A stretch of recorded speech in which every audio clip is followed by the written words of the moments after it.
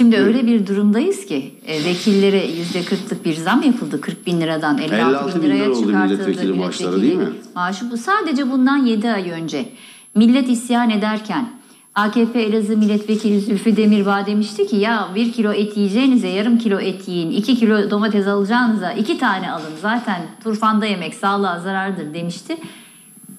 40 bin lira alan bu vekil bugün borçlar içinde ancak yaşayabildiğini itiraf etti.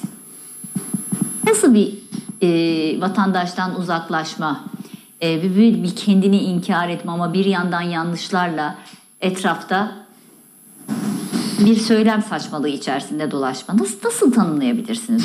Valla bunu tanımlamak e, mümkün değil.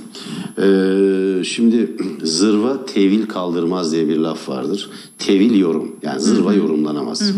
E, burada da öyle bir e, durumla karşı karşıyayız.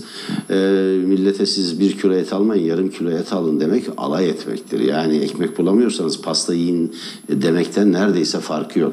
Bir kilo domates almayın, iki tane alın. Hatta turfanda da zaten sağlığa zararlı hiç almayın diyor.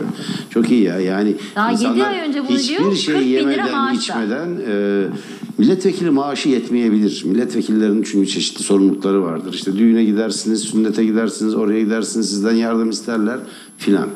E, sorun şu ki Türkiye'deki milletvekilleri bunu hak ediyor mu, hak etmiyor mu? Yoksa bu millet seçtiği temsilcilerine iyi bir ücret verir. Göz onda değildir. Yeter ki bu millet adil bir paylaşımın olduğunu, hakkının, hukukunun korunduğunu düşünsün. Ama olmadığı için Şimdi bu kadar göze batıyor biz bakın zaten. AKP'li Cumhurbaşkanı'nın e, maaşına da yüzde 40 zam yapılacaktı. Yani 100, 101 bin lira olan maaşı 143 bin liraya çıkacaktı değil mi? 143 bin lira çıkacak Tabii. yaklaşık. Ee, bunun geri çekilmesinin nedeni ne? Bizlerin bunu buradan Tepkisi.